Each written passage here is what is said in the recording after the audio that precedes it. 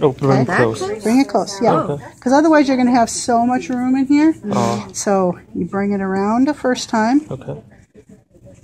bring it around a second time. Now, from the body side, reach through that loop, keeping it close, and grab hold of the tail, pinch it, bring it through, and pull the round part, oh. and it's restrained.